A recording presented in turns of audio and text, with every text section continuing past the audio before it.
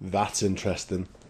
This game is not in any way affiliated or sponsored or endorsed by Sega, basically. Um, we will not have any of your religious agenda on our console. We are neutral. now, I have played this before. I might even play through each of them. Let's play Noah's Ark. Uh, I remember this being quite fun in its way. Um, so God said that. We don't care what God said. This is a, a gameplay, not a religion lesson. Okay. Yeah, I remember this. So we can pick up animals, and we've got to get them up to the ark. Ow! They don't want to be saved.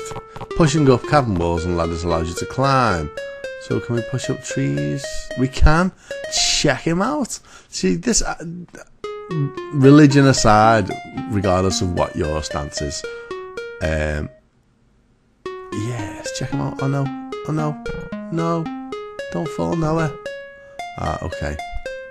Uh, re- regardless of what your stance is on this, um, all right, it's a basic, simplistic, and very rudimentary game, but you know what? I actually find it quite fun. I'll have to sneak then, shall I? Where's me flipping ark? Oh, I see. They've got to go in there, have they? Oh, wow, yeah. I remember this. You can put them in piles. Uh, obviously, I never played this on a cartridge. I'm not even sure you can buy it on a cartridge. Can you buy it on a cartridge? I'm not even sure. Oh, yeah, I remember catching the horse was the difficult bit. Get here. You ain't gonna see no unicorn, and this is why. Gotcha. Gotcha, Mr. Unicorn. Well, not unicorn horse. Hey, there's the ark. Okay, we're here. Um, I want that pig. Come here. Alright, okay. Only carry three at once by the looks of it. Let's get up that ladder. Um, don't get me wrong, it's not brilliant to play. But um, I remember this having a certain a certain something, let's say a certain charm. I think if I got to throw him into there. Oh really? Come on. You're there, we're there. Just stay put. Stay put, horsey. Horsey, I'm trying to save your species with apparently just you. at least you and your partner. Yeah, your children and your children's children will be heavily deformed, having come from the same family. But that's one horsey. But hey, we're talking religion, not science. Pressing B, dropping object. Yeah, I know that. I've figured it out myself. Honestly, God, can't you see that I've sussed it? I thought you were all seeing. No offense to anyone who is religious. I'm not particularly. Don't get me wrong. Um, I'm not opposed to anyone's beliefs. What you choose to believe is your own concern. Um, I am a bit against some of the negative effects of organised religion on our society, but that's. Uh, it's made living safety use not fear of harm. Nice. Um, but you know, that's by the by. Um, it's the game that I'm looking at, and it's. It, the thing is, it's not utterly terrible. It's actually got a kind of a it's a bit unique. I mean, I wouldn't say it's completely unique. There are games with similar ideas and whatnot, but you know, it's doing something that you don't see that much of on the Mega Drive, and um, it's not unfun. It's not completely dull. It's maybe a little bit long-winded this particular level. The graphics and music aren't particularly crafted with any particular love. Come here, pig. Piggle. But the game as a concept is pretty cute. Oh, what's going on with the pig? No, it's rubbish at catching pigs.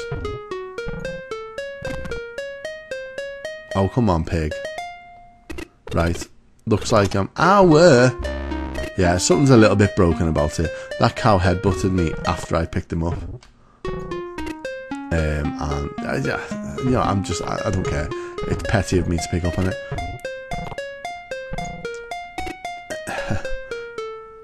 Alright, imagine more than five minutes of play is going to get on me wick. I'm at the five minute mark now. Shall we see what the other games are like? That's not terrible. Let's do a soft reset.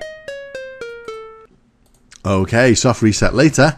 Let's try Baby Moses. Hey, Hey, Baby Moses. Okay, so basically, something about the Pharaoh and a baby in a basket. Oh, I'm gone. It's the same mechanics. Let's see if we can um, identify where the mechanics are the same. Alright, oh, I see. Ah, cool, okay. Not totally the same. It's a platformer with baddies that you've got to avoid. Apparently that's the Pharaoh's henchman. Oh no, that can't be good. A big angry dog. Oh, there's the Pharaoh's henchman. And you've got to avoid them and get the baby to safety. Oh, see how it's loosely based on the story, whatever that story was. It was something about Moses being murdered and, well, oh, being carried safely away from murder, his murder, at the hands of the Pharaoh, and put in a basket, wasn't it? Was that a story? What was the story? Something about a basket and being taken off down the river. Great work, on to the next level. Alright, so I've got to pick up Moses again. I don't think it happened like this in the uh, in the story. I mean, I've heard of artistic license, but I'm being chased by a pterodactyl. I thought Christianity didn't really do dinosaurs. Actually, is it just a big ugly seagull? Uh, you know what? Again, and it annoys me to some extent. It's actually quite fun. It's actually quite fun. It's not terribly unplayable as you'd expect it to be. Uh, it's actually no rather fun. Let me just soft reset. In fact, better still, because I lost that life, it's gone to the A menu um, that I don't seem to be able to. On, that'll do it. There we go. I was going to say I don't seem to be able to control, but I had to click on the screen. Um, this gives me a chance to play David and Goliath. Why would you push A for music off? The music's the only half decent sound going on. Now, if I remember this story, and I remember my RE lessons, I went to a CV school. Hang on, why is he picking up sheep? He is picking up sheep. Really, you don't need that mechanic for David and Goliath. It's a big battle between a little dude and a big dude. Giant man. Um, that's the story of David and Goliath. There was like one army that were taken over and they had a giant and another army that were defending and they had, well, no giants. What, what did that even say? And then the giant was like bad, obviously, because there's like black and white, good and bad in the Bible. What did that say? Oh, I can't even get to it now. Oh, well, we'll work it out. There's definitely no angry squirrels in David and Goliath. And I'm not even sure there was a lion. I'm pretty convinced there wasn't a lion. There's a sheep. I want the sheep. Clearly, I've got to rescue this sheep from the squirrel. I mean, really? Who wrote the Bible? Was Jesus who wrote the Bible? What was he thinking with the the shepherd and the angry squirrel story? Yeah, anyway, David's like a little lad and he's got a catapult and there's a big dude and he's like gonna win the fight and David comes up and says, Let me take him on with my catapult and you know, obviously the army goes, Yeah right because they would. And um this is alright, this is rubbish this one. Because I was expecting David and Goliath, not more of the same. I'm little disappointed with this one to be fair. Um and yeah, and then he, he against all the odds, takes out the giant with one shot from a catapult. That's David and Goliath. It's an against the odds story. It's not about climbing trees to get away from lions and then dodging squirrels. Hang on. But you haven't found all of the sheep. Oh, really? That's what it says. Do the same thing again. How many times? It doesn't tell you how many times. Do the same thing again an indefinite amount of times. You know what? God or Goliath or whoever it is telling me to do this. Just know.